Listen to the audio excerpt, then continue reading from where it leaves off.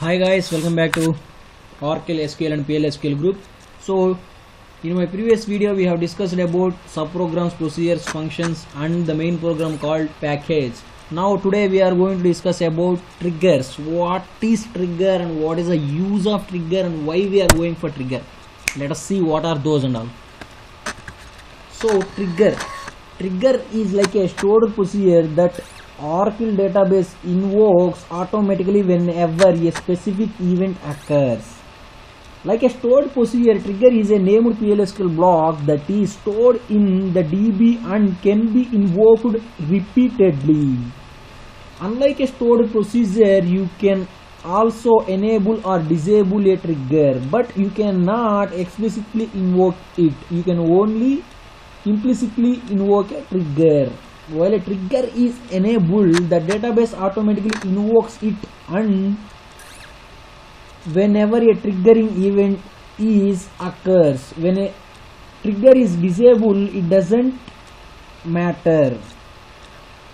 We can create the trigger on trigger tables schemas views and database.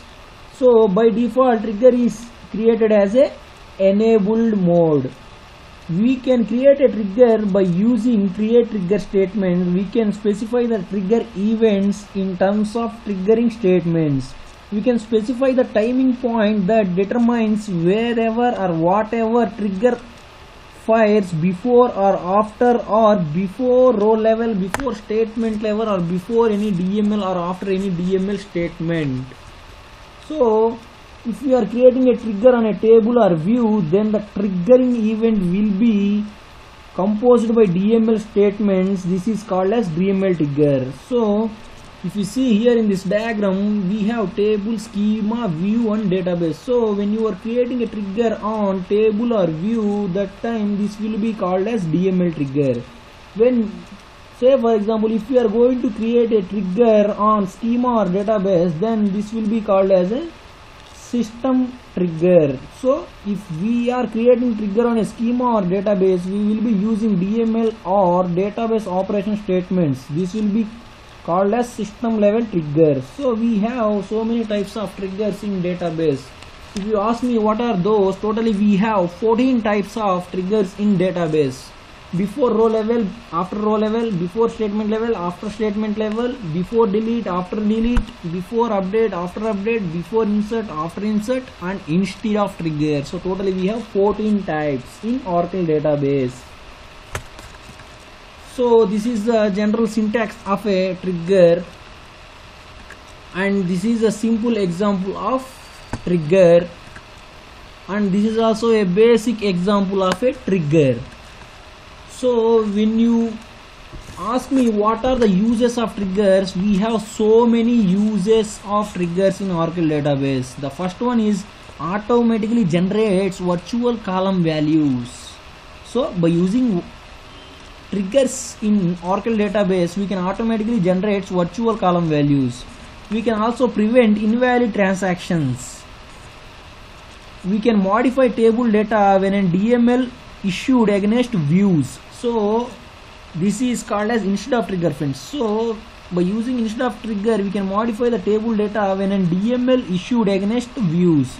We can prevent dml operations after business hours. And also the one more main advantage is that we can enforce the referential integrity when child or parent tables are on different nodes of a distribution system. And the other advantage is that publishing the information about the db events or user events. And also log events also the very good advantage of oracle trigger. So and the other one is that we can enforce complex business rules by using the triggers.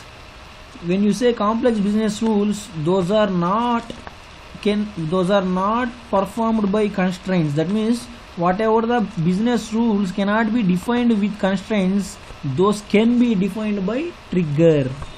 So trigger and constraints are both work as a similar way friends. So when you ask me the difference between constraint and trigger constraint can apply to either new data or old data or on both the data but trigger is only applies to new data. Because whenever we are creating a table the constraint must be specified. That means constraint must be specified while creating a table. Whereas it is not required for trigger. Trigger will be created after creating the table. So this is the one main difference between trigger and constraint.